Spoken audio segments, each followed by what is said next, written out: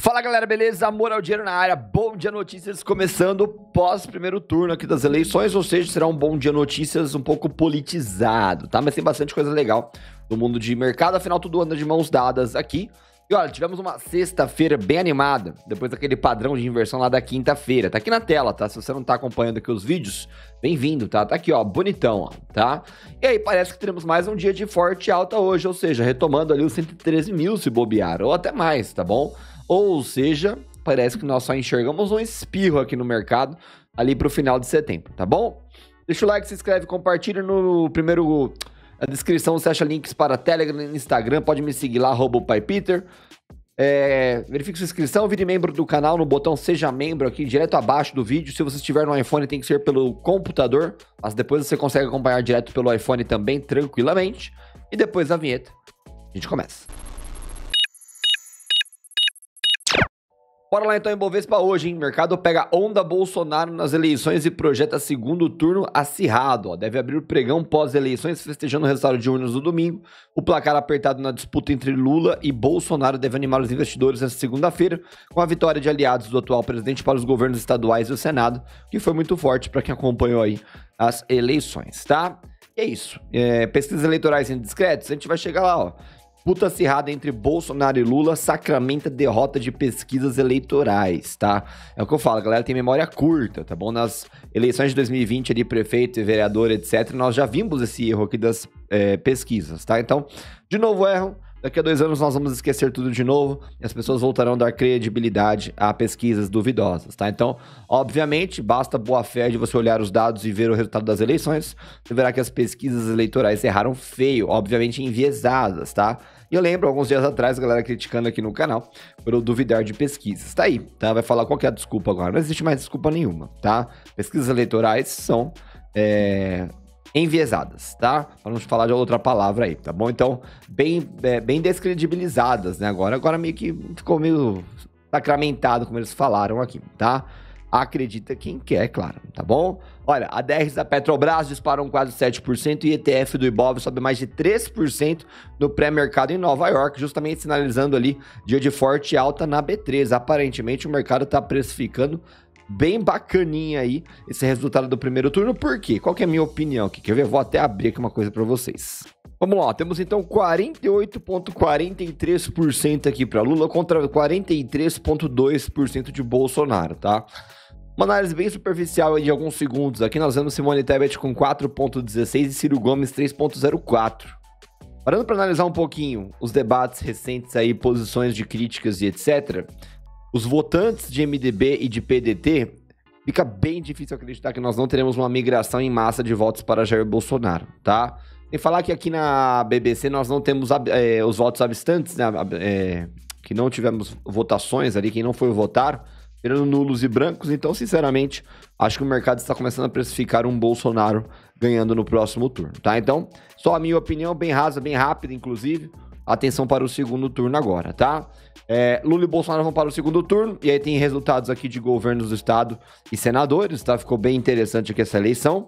Não vou entrar em detalhes aqui, mas obviamente, ó, Romeu Zema reeleito em governador de MG, ficou interessante também. Tarcísio e Haddad também evidenciaram aí é, como as pesquisas estavam erradas aí no segundo turno de São Paulo, e basicamente é, já dá para imaginar um Tarcísio eleito, né? Por causa dos números, enfim, esqueci agora os percentuais corretos, mas foi bem gritante o erro da pesquisa aqui em São Paulo. O resto eu acabei não acompanhando muito, tá? Olha, Tarcísio e Haddad vão ao segundo turno, o que eles propõem para a economia, tá? E aí, obviamente, quem for de São Paulo, acho que vale a pena dar uma lidinha, obviamente, em todos os estados aí, para quem é, vai pegar um segundo turno. Obviamente, se. É... É, como é que é a palavra que eu queria? Se alimentem, né? Se alimentem aqui de informações, tá bom? Vale lembrar que o Haddad foi o pior prefeito de São Paulo, tá? Então fica a dica aí para quem estiver votando em São Paulo, tá? Vamos lá falar um pouquinho mais de ações agora. Minerva, BF3 está entre as small caps que mais caíram em setembro, tá? E tem uma lista aqui, obviamente. Vamos pegar essas listinhas aqui e vamos dar uma destrinchada lá no Bom Dia de Membros daqui a pouco, tá bom? Então nós temos aqui RB, Marfrig, Gafisa, Minerva e Sequoia como as que mais caíram aqui. A gente tá falando de small caps, tá? Tem algumas oportunidades aqui.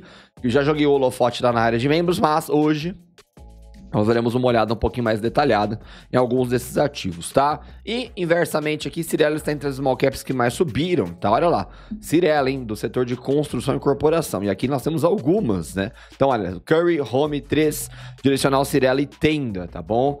Aqui, cuidado, hein? Tem pegadinha aqui, hein? Tá com muita alta esse setor, hein? Toma cuidado, tá? A gente vai falar um pouquinho mais sobre isso daqui a pouco, tá? Atenção para quem fez o imposto de renda, espero que você tenha feito, né? Afinal, tem que declarar suas ações também. Receita paga o quinto e último lote nessa sexta-feira. Para quem não se liga muito nisso, é mais um dinheirinho para você poder investir aí ou fazer o que você quiser com ele, é claro, tá? Então, é... foi na dia, foi dia 30 agora, tá bom? É só lembrando vocês aí, dá uma olhada, porque às vezes cai silenciosamente na sua conta corrente para conta que você cadastrou lá no programinha de imposto de renda e você não vê, tá? Qualquer dinheiro é dinheiro, né, galera? De graça tem injeção na testa, tá? E a despenca quase 33%, e as ações do Ibov que mais caíram em setembro. É mais ou menos um repeteco aqui daquela matéria, mas a gente tem aqui São Martinho e BRFS 3 pra gente dar uma olhadinha também. Então a gente vai utilizar isso aqui pro Bom Dia de Membros daqui a pouco. Obviamente, nós temos é, algumas quedas interessantes. Como é que eu posso é, comentar sobre isso daqui de forma correta, né? Uh, ah, para não deixar ninguém envezado. E nem, obviamente, muito pessimista, tá? Nas grandes quedas surgem as grandes oportunidades, mas nem sempre grandes quedas são boas oportunidades. Assim como nas grandes altas você perdeu boas oportunidades, mas nem sempre grandes altas é, significa que acabaram as oportunidades. Dá para entender isso mais ou menos? Então eu vou evidenciar isso daqui a pouco lá na área de membros, tá? E aqui a matéria contrária, justamente com é, altas, né?